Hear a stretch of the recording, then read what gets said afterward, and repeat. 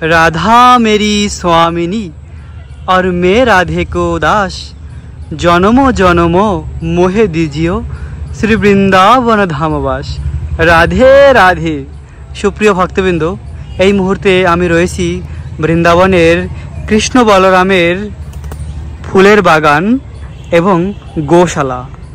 এটি হলো বৃন্দাবনের কৃষ্ণ বলরাম মন্দিরের ভগবান কৃষ্ণ বলরামের ফুলের বাগান এবং এখানে রয়েছে অতি বৃহৎ গোশালা। সেই গোশালার যে দুধ সেই দুধ দিয়ে ভগবানের সেবা করা হয়, ভগবান কৃষ্ণ বলরামের। এবং এখানকার যে ফুলের বাগান রয়েছে, এই ফুলের বাগানের ফুল ভগবানের সেবায় লাগে। ভগবানের মালা বানানো হয় এবং বিভিন্নভাবে পাগড়িতে লাগানো হয়। বৃন্দাবনের খুব সুন্দর কৃষ্ণ বলরাম মন্দির। সেখানে রয়েছে গৌর সুন্দর ভগবান কৃষ্ণ বলরাম এবং রাধা শ্যাম সুন্দর। অতি সুন্দর রাধা শ্যাম সুন্দর। তো কৃষ্ণ বলরামের ফুলের বাগান আর গোশালা আজকে আমরা দর্শন করব এবং কৃষ্ণ বলরামের এই ব্রজলীলা শ্রবণ করব। প্রিয় ভক্ত, ভগবানের সেবা যেই করে, তার জীবন ধন্য হয়ে যায়। এই ফুলের গাছ অতি ভাগ্যবান। কেননা, ভগবানের সেবা করার দুর্লভ সুযোগ লাভ করেছে। এবং এবং এখানকার সৌন্দর্যকে দর্শন করে মন মনোমুগ্ধকর হয়ে গেল। অতি সুন্দর বৃন্দাবন ধামের এই প্রকৃতি। কেননা, ভগবান কৃষ্ণ যে ভূমিতে লীলা করেছে, সেই ভূমি তো হবে সব থেকে সুন্দর।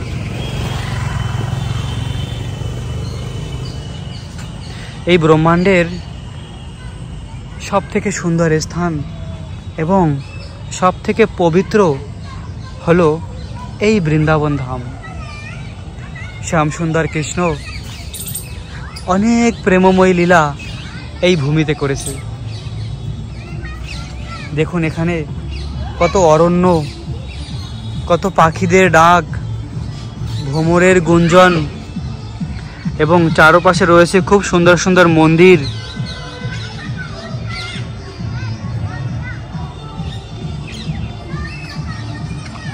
কৃষ্ণ বলরামের এই ফুলের বাগানে রয়েছে বিভিন্ন রকমের পাখি, ফলের গাছ এবং ফুলের গাছ। বিভিন্ন ফুল দিয়ে ভগবানের খুব সুন্দর মালা বানানো হয়। আর যারা এভাবে ভগবানের মালা বানায়, তাদের জীবন ধন্য। কেননা তারা স্বয়ং ভগবানের সেবা করছে। ভগবানের যে সেবা করে, সে ভগবানের বিশেষ কৃপা প্রাপ্ত হয়। ভগবান কৃষ্ণ বলেছেন যে, আমরা যদি ভগবান কৃষ্ণের ভক্তি করি, তাহলে অবশ্যই অন্তিম সময়ে আমরা কৃষ্ণকে স্মরণ করতে পারব। কৃষ্ণ বলেছেন, অন্তকালে চ মামেবম শরণ মুক্তা কলেবরম য প্রয়াতি সম্মদভাবম জাতি নাস্তায় সংশয়। কৃষ্ণ বলেছেন, অন্তিম সময়, মৃত্যুর সময় যদি আমরা কৃষ্ণকে স্মরণ করতে পারি, তাহলে অবশ্যই কৃষ্ণের কাছে ফিরে যাব। আর সেই বিষয়ে কোনো সন্দেহ নেই। তো যে ভক্তরা এভাবে ভগবানের জন্য মালা বানায় এবং ভগবানের জন্য ফুলের গাছ লাগায়, সেই ফুলের গাছের ফুল ভগবানকে মালা বানিয়ে পরায়। সে ভগবানের কাছে কত প্রিয়। এরকম এরকম প্রেমময়ী সেবার মাধ্যমেই ভগবানকে আমরা প্রসন্ন করতে পারি। ভগবান ভক্ত বসল ভক্তের প্রেম, ভক্তের ভাব গ্রহণ করে। ভগবান কৃষ্ণ বলেছেন গীতাতে যে, ভগবান, অতি সামান্য বস্তুতেই ভগবান সন্তুষ্ট হয়ে যায়। আর সেটি কি? পত্রম পুষ্পম ফলম তয়ম যো ভক্তা প্রযস্বতি তদাহম ভক্তা উপহারিতম অস্নানি প্রযত্মনম ভগবান বলেছেন, পত্র মানে তুলসী পাতা, ফল, জল, যে ভক্ত ভগবানকে ভক্তি সহকারে নিবেদন করে, ভগবান সেই ভক্তের নিবেদিত ভোগকে প্রীতি সহকারে গ্রহণ করে। ভগবান আমাদের কাছে অনেক দামি কোনো বস্তু চাইনি, শুধুমাত্র পত্রম পুষ্পম ফলম তয়ম। এটা তো পৃথিবীর সমস্ত জায়গায় পাওয়া যায়। তাই তো আমরা যদি এই জীবনে কৃষ্ণকে প্রাপ্ত করতে চাই, এই দুঃখময় সংসার থেকে মুক্তি লাভ করে ভগবান শ্রীকৃষ্ণের কাছে গোলক বৃন্দাবন যেতে চাই, তাহলে অবশ্যই এভাবে ভোগ লাগিয়ে প্রসাদ পেতে হবে। ভগবান কৃষ্ণের দিব্য নাম জপ করতে হবে। ভগবান কৃষ্ণ খুব দয়ালু।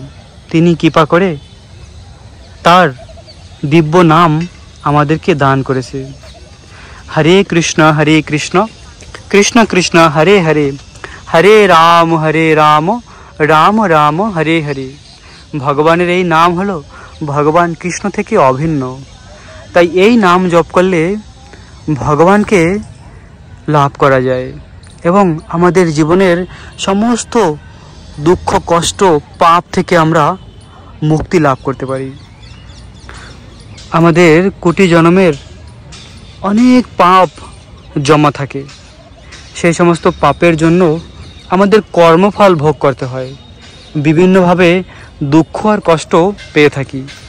কিন্তু যদি ভগবানের অনন্য ভক্তি করি, তাহলে সেই সমস্ত কষ্ট দুঃখ আমাদের ভোগ করতে হবে না। সব কিছু নষ্ট হয়ে যাবে। ভগবানের ভক্তি এতই শক্তিশালী, ভগবানের ভক্তি করার মাধ্যমে সমস্ত দুঃখ কষ্ট থেকে মুক্তি লাভ করা যায় এবং এই জীবনের শেষে ভগবানের কাছে ফিরে যাওয়া যায়। তাই তো আমাদের ভগবান কৃষ্ণের নাম জপ করা উচিত এবং কৃষ্ণকে ভোগ লাগিয়ে প্রসাদ পাওয়া উচিত। কেননা ভালোবাসার মানে হলো যাকে আমরা ভালোবাসি তাকে সেরে আমরা কখনোই খেতে পারি না। তাই তো আমরা যদি কৃষ্ণকে সত্যিই ভালোবেসে থাকি হৃদয় দিয়ে তাহলে যা কিছু আমরা আহার গ্রহণ করব সেটা ভগবানকে ভোগ লাগিয়ে গ্রহণ করব। এভাবে কৃষ্ণকে ভালোবাসা যায় এবং এই দুর্লভ মনুষ্য জনমকে সার্থক করা যায়। প্রিয় ভক্ত, চৌরাশি লাখ জুনি ভ্রমণ করে অবশেষে এই দুর্লভ মনুষ্য জনম আমরা লাভ করেছি। তো এই দেহটি লাভ করে যদি ভগবানের ভক্তি করি, তাহলে এটি সার্থকতা লাভ করে। তাই তো কৃষ্ণের নাম জপ করুন এবং কৃষ্ণকে ভোগ লাগিয়ে প্রসাদ পান, একাদশীর ব্রত পালন করুন।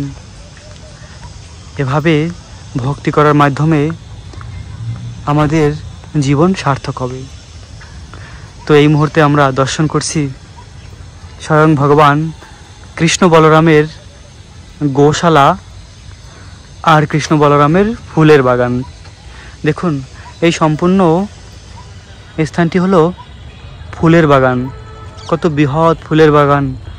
সমস্ত ফুল ভগবানের সেবায় লাগানো হয় এবং ফুলের বাগানের মাঝে রয়েছে অনেক সুন্দর সুন্দর বৃক্ষ। এবং পাশের এই জায়গাটি হলো গোশালা। এখানে অনেক গাভী রয়েছে।